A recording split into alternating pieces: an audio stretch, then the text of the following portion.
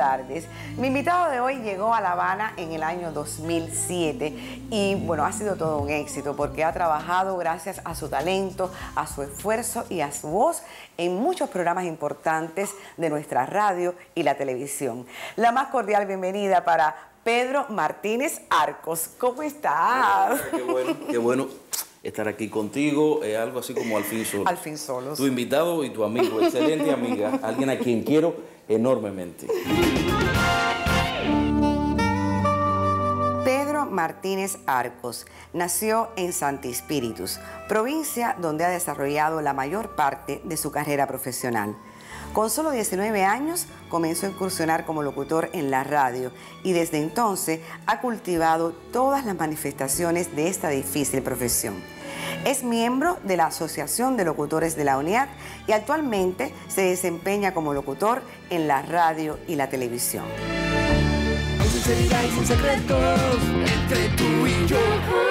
Pedrito, dime, ¿vas a conversar hoy? Sí, bueno, Seguro. es la intención. Sí, es la intención amigos, sí, conversar. porque paradójicamente, aunque bueno, su trabajo es con el uso de la palabra, él no es muy conversador, que digamos, cuando estamos así a solas, qué sé yo, casi hay que sacarle las palabras. Bueno, sí, eso ha sido algo que me ha caracterizado siempre. Sabes que he llegado a ser muy tímido, muy tímido. Muy tímido. Muy tímido, De tú todo lo eso sabes. vamos a conversar. Pedri, yo sé que, porque me lo has contado, ¿no? Y lo he oído de tu mamá, que desde niño ya tú participabas ya en los eventos escolares y eso, y siempre de maestro de ceremonia y esas cosas. Es que siempre sentiste inclinación por la locución. Sabes que sí, sabes que sí. Llegué a la Casa de la Cultura de Santi Espíritus cuando tenía 12 años. Han pasado unos cuantos años Sí, ya. señor. 12 años tenía en aquel momento y justamente entré a un círculo de interés de locución. Es decir, que mi primer maestro, su nombre es Norberto Valdivia y no lo puedo olvidar jamás. Está allí en Santi Espíritu. Llegué a la Casa de la Cultura y comencé ese curso de locución, pero siempre, siempre, siempre chocaba este asunto de la timidez y a veces mi falta de comunicación, paradójicamente como tú dices. Entonces, en eh, la Casa de la Cultura. Eh, eh, ahí fue que tomaste un micrófono por primera vez. Sí, enseguida comencé a hacer espectáculos. Fue lo primero que empecé a hacer, espectáculos. Y al parecer siempre me vieron, eh, digamos que un- una adultez prematura. Sí. Porque comencé a hacer cosas para adultos desde muy niño, bueno, 12 años, 12, 13 años, estaba en la secundaria en aquel momento. ¿Cómo tú te preparaste? ¿Qué- qué- ¿Cómo te preparaste? Porque yo sé que tú estudiaste, eh, tienes una licenciatura en educación. Sí, exactamente, una licenciatura en educación, especialidad de educación laboral y dibujo técnico. Pero siempre lo que me interesó fue la locución. Y paralelamente fuiste haciendo tu carrera como locutor a la vez que estudiabas. Sí, sí. eh, bueno, sabes que cuando uno es joven hace muchísimas cosas a la vez. Yo recuerdo que cuando estaba en tercer año de mi carrera en el pedagógico, estudiaba francés, iba a un curso de locución en Radio Santi Espíritus, trabajaba en un cabaret por las noches, increíblemente, y estudiaba mi carrera. Es decir, que todo eso lograba hacerlo a la vez. No sé cómo, ahora mismo quizás no lo, no lo hiciera, pero en aquel momento sí, sí lo hice. Bueno, y, y es verdad, eh, según me han dicho, que tú llegaste incluso a cantar en ese cabaret en Santi Espíritu. No, perdón. Sí, sí, sí, llegué a hacerlo, llegué a hacerlo, me costaba muchísimo trabajo, no te voy a mentir. ¿Qué me, dime alguna melodía, así que tú cantas. No, de eso ni lo recuerdo. Bueno, sí, cuando me dijeron, mira, Ay, no seas malo, vas Pedri. a cantar. Una yo recuerdo, yo recuerdo que decía, eh, Noche del Caribe, vamos a bailar. Una, bueno, ni siquiera yo sé bailar, ni siquiera soy bueno para eso. ¿Y, y ahora te atreverías a cantar? No, hombre, no. no.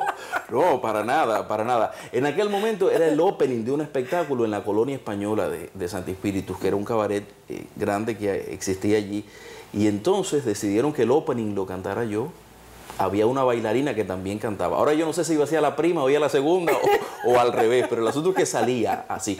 Casi eh, eh, seis meses estuve cantando el opening de aquel espectáculo. ¿Y tú no crees, Pedro, que esa interrelación tuya con el público, ya dejando los medios, no sino trabajando directamente en diferentes eventos, en cabarets, en centros nocturnos, eh, logró que rompieras un poco esa timidez que siempre te ha Sí, caracterizado? sí, por supuesto. ¿Te sirvió para por eso? supuesto. Logró romper eso a medias. Todavía esa timidez la tengo y creo que me voy a morir con ella. Pero sí, lo logré, lo logré eh, trabajando en cabaret, haciendo espectáculos, trabajando en la descripción del carnaval en Sí, Santi. Espíritus, en fin, en muchas cosas. Fui maestro de ceremonias de la juventud, del Sí. partido de Santi Espíritus y de otras instituciones. Eso lo hice muchas veces. ¿Cómo llegas a la radio? En el año 90 eh, se da la posibilidad de comenzar en un programa para adolescentes y yo tenía 19 años en aquel momento. Y ya la voz no me acompañaba mucho para un programa de adolescentes. Yo recuerdo que únicamente hacía la frase del inicio del programa. Era una frase de Rabindranath Tagore, no lo voy a olvidar.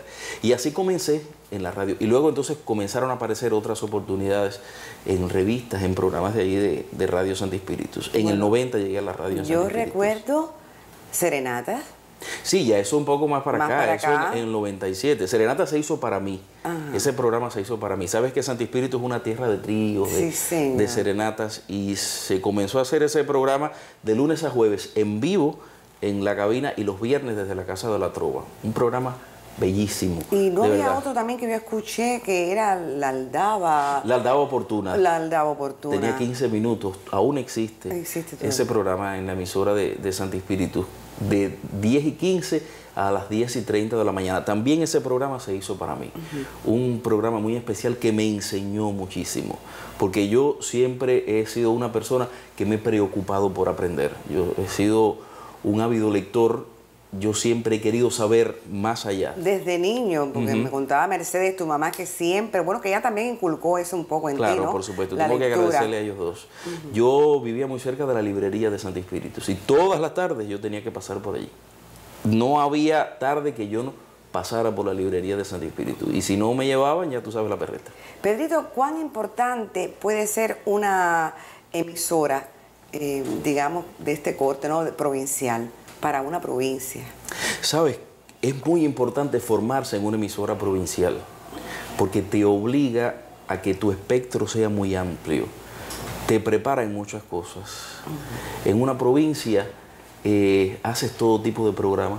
Puedes hacer un programa de facilitación social, un informativo. Yo tuve la suerte de hacer un musical, muchos tipos de programas. Y eso te prepara te prepara mucho y además te prepara para toda la vida. Además te obliga a superarte constantemente justamente porque estás haciendo muchos tipos de programas. ¿Y para el público cómo funciona? ¿Para el oyente? En provincia estás más cerca de, del oyente y te encuentras a la gente en la calle a diario porque son tus vecinos, son tus coterráneos. Y el público te exige que te parezcas a ellos. La emisora tiene que parecerse al público, tanto las emisoras provinciales como las emisoras municipales, emisoras comunitarias. Es la retroalimentación con el público es muy inmediata y es muy rica además. Sabes por dónde andan tus tiros en definitiva.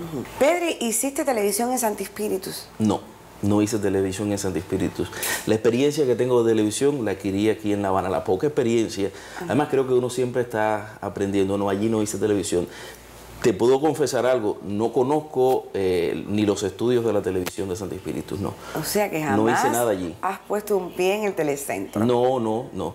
No, bueno, ya después eh, que pasó el tiempo, estando aquí en La Habana, sí, en una ocasión estuve allí para una entrevista, pero antes no tenía experiencia ninguna de televisión. Es decir, que cuando yo hice al mediodía por primera vez aquí, me estaba sentando por primera vez frente a una cámara de televisión en vivo para conducir un programa. Ah, de todo eso vamos a hablar dentro de un ratito, porque yo ahora te propongo, bueno, tú has trabajado de noche. Oh, muchas veces sigo trabajando de madrugada. En Santi Espíritus trabajaba de noche hasta las 12 de la noche y aquí comienzo a las 5 de la mañana pero el proceso productivo y todo lo demás comienza desde las 3 de la madrugada en haciendo radio. Es un poco duro, ¿verdad? Bien fuerte, sí. Es fuerte. Casi 10 años ya llevo en eso. Sí, sí. Bueno, pues yo te propongo ahora a ti y a los amigos ver un reportaje muy interesante acerca precisamente de la labor que realizan nuestros especialistas, técnicos y artistas en la noche en la radio.